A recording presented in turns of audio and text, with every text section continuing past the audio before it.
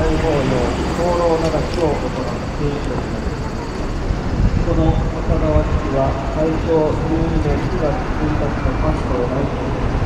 昭和20年3月10日の東京大空襲におきまして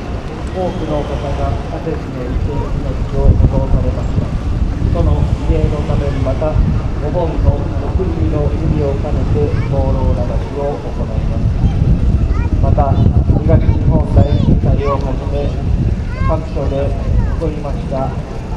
災害西日本各地豪雨災害等でお亡くなりになられた方々の霊に対しましても関わる教会の郷土愛人が心よりご供養をしていただきますなお灯籠流しのご供養をご先祖様になさりた。いお方は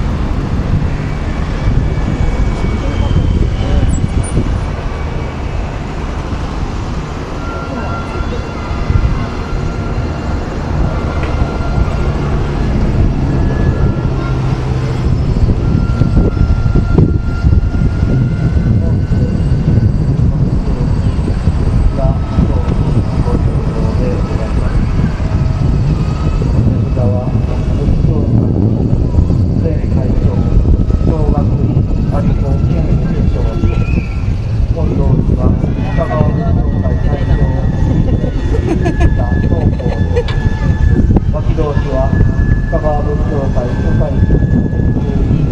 があったはカバー仏教会所属の各地派当学は大本山東京流してみたいと思って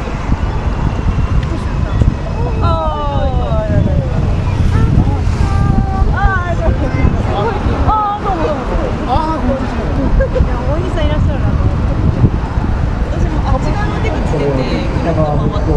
過ぎると。